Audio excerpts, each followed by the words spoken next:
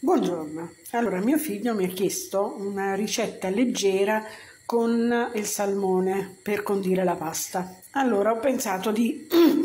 Allora ho messo in una padellina un cucchiaino d'olio, un cucchiaino di burro. Adesso metterò un bel cucchiaio di ricotta e farò stemperare e aggiungerò anche un goccino di latte.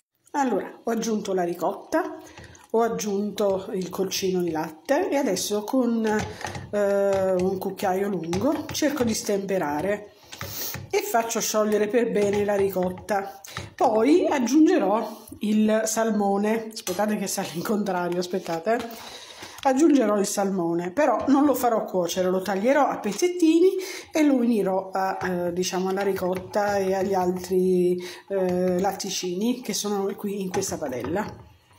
Non aggiungerò il sale perché il salmone è già saporito, però aggiungerò un bel, un bel pizzico di pepe.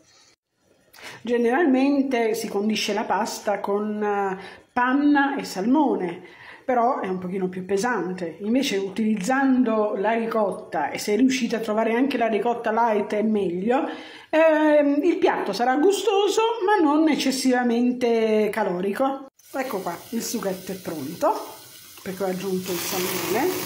Qui sto cuocendo le trofie. Scusatemi c'è il, il vapore non mi fa ecco qua vedete? Sto cuocendo le trofie a metà cottura le scolerò e le metterò direttamente nel sugo.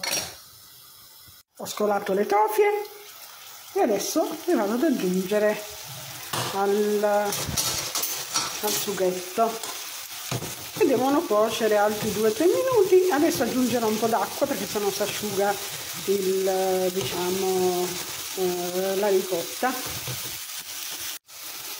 Guardate che bello sta facendo proprio una bella cremina. Voi dovete scusarmi eh, se eh, non sono molto brava nella descrizione oppure eh, sono balbetto un poco. Piano piano imparerò eh,